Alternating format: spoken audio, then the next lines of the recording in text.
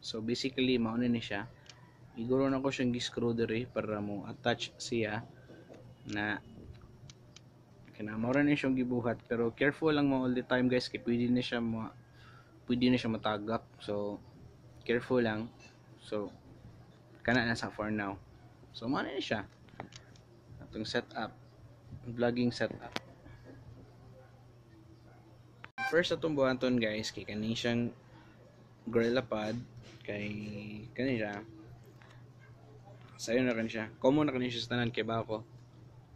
Siya. I-attach lang ni siya. Oh by the way guys kani kay dili na siya mao nga kanang cellphone mount nga akong i kuan ninyo ha? I-recommend.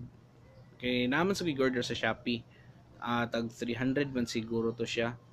Niya kanang basta mo update lang ko if naa na ba jud to. So for now kanila sa kay lisod mong siya i-attach ang kaning microphone dire pero na ako'y hack nga nahimo so tanawa lang. Pero i-try lang ninyo hope this thing works. So ako na siya ibutang ha.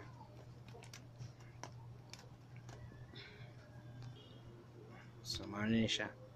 So sunod akong buhaton guys. Kay i-attach na akong mic. Kani siya. For a while sa. Lisod kay usara ka kamot kung gigamit sa so kani siya.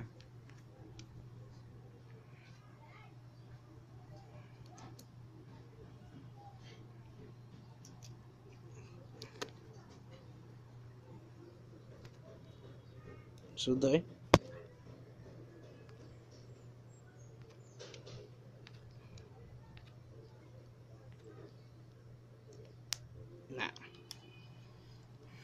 rin siya sa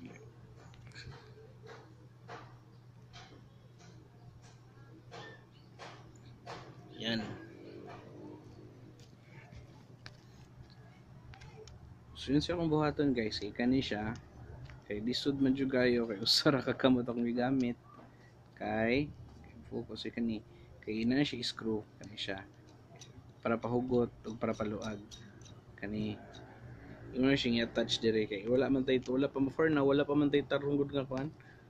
Wala pa tay tarong nga cellphone mount so moro ni akong buhaton ako sa ikata. So first off guys kay syempre ang atong vlogging camera which is ang iPhone.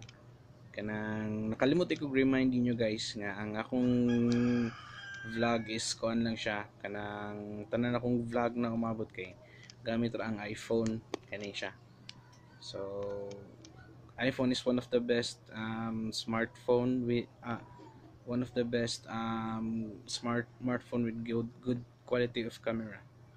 So mo ni siya gipili so mo ra man sugod na na to. So kana na sa and next kay Gorilla Pad kani siya. Napalit din ako siya sa night market. Tag ano ni siya.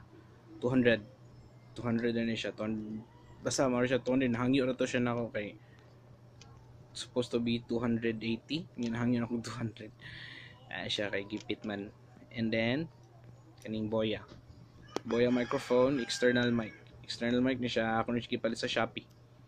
Mga akong palit niya mga 900 almost 1000 so ato ni siya i-set up guys hinahina nito set up para ma ano